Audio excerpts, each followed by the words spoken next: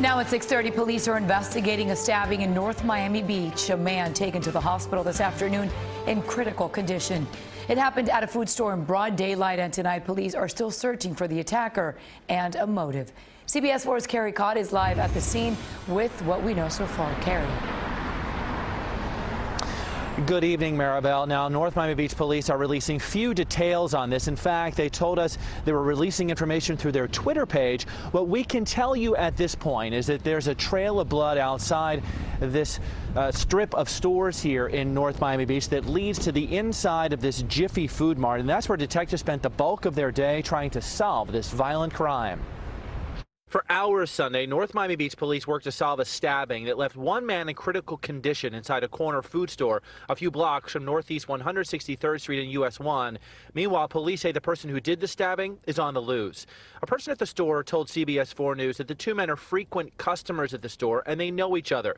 We're told they apparently got into some sort of argument and one man stabbed the other several times in the neck. I hope he pulled through. This woman, who declined to give her name, said she's a friend of the victim. That's somebody's dad. That's somebody's child. That's somebody's father. That's somebody's loved one. Police did not identify the victim or give any indication of the circumstances of the stabbing. We asked if they recovered surveillance video from cameras outside the plaza, but they did not confirm that. By the end of the afternoon, workers were left to clean up the crime scene.